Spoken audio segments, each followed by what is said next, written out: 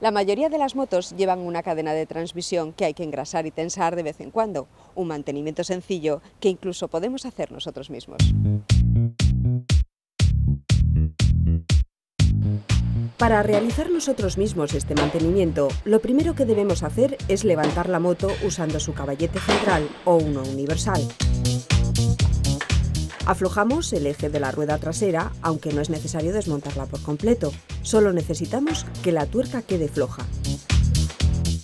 Pasamos ahora al tensor de la cadena. Aflojamos la contratuerca del tensor para poder moverlo libremente. Hacemos esto a ambos lados del basculante.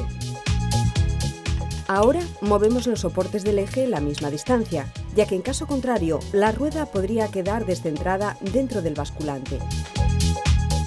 La tensión que debemos dejar en la cadena ha de ser la recomendada por el fabricante en cada moto.